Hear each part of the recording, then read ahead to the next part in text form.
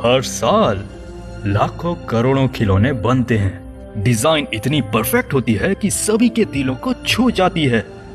पर उन खिलौनों के साथ क्या होता होगा जो परफेक्ट नहीं है?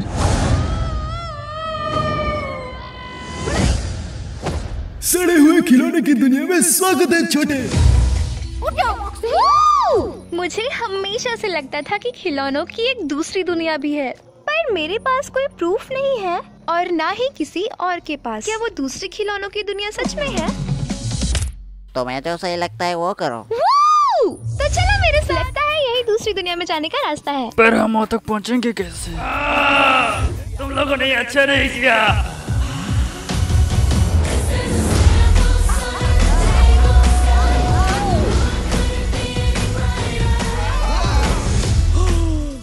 अब ये परफेक्शन क्या होता है? ये कौन है?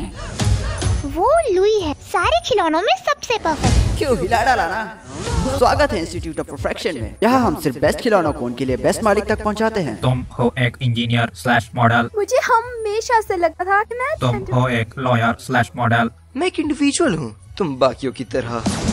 तुम हो एक क्या क्या हो पता नहीं क्या क्या मैं पागल हो जाऊँगा?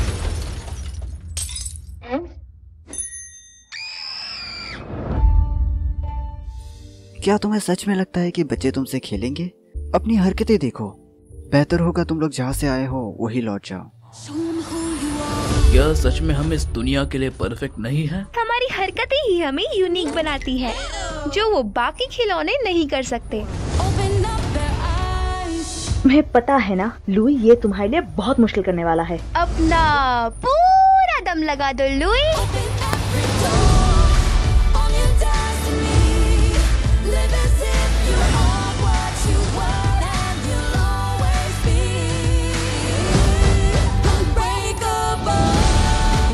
अब भी बच्चे खेलेंगे हाँ मज़े करो अपना टाइम आ गया रे